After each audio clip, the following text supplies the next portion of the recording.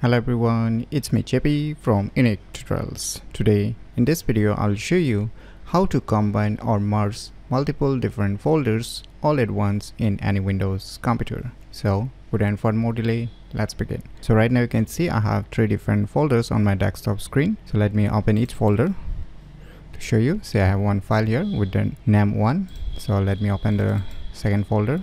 Second 2, I have a second file and let me open the third folder. Still I have a file with the name 3 so by default we can merge all these different folders all at once. We need to cut or copy and we do need to move each one of them if we want to send all the files to the respective particular folder. But that's not a quick method. So for this what you can do is just open any web browser and in the Google search just search for one application name as PopShop merge multiple folders. And on the first list you will see its official website. Just click on it.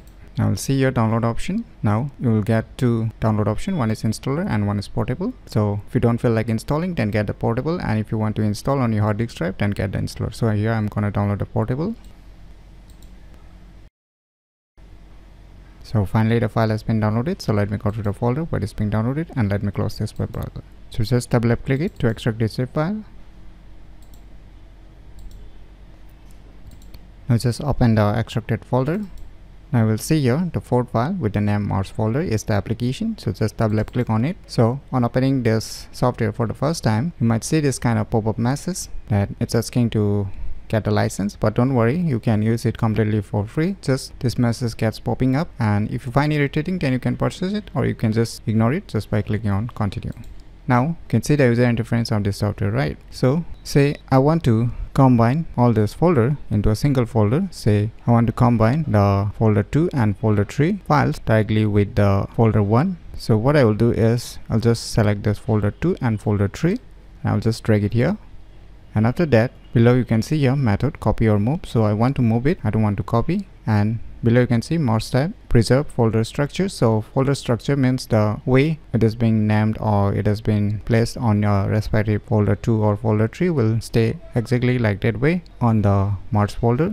Or you can select merge all files with root folders of targeted folder. You can select this option also. I'll, I'll highly recommend to keep the first one if you are new to this application. And now here you can see the target folder right? So here just select the output folder with which you want to merge the respective folder 2 or folder 3 which I have selected right now. So let me click on browse and just locate to the folder where you have saved the respective folders. So I want to merge this folder 3 and folder 2 with the folder 1 that is the folder. I'll just select the first folder click on select. Now this will be the output folder. And now last option you are gonna see here merge multiple folders into one. So just click on it wait for a few seconds. Now you can see showing completed. Now you can just close it. Now you can see here the folder 2 and the folder 3 has been merged with the folder 1 so let us open. Now you can see all the files present in the folder 2 and folder 3 are being moved to the folder 1 that is it has been completely merged with the folder 1 so by using this software named as PopShop merge multiple folders you can easily combine or merge multiple different folders all at once in any Windows computer very easily. So if you never known about this cool software then you should definitely give it a try. So if you find this video tutorial useful please click on the thumbs like button and if you're new to our channel click on the subscribe button and lastly thanks for watching.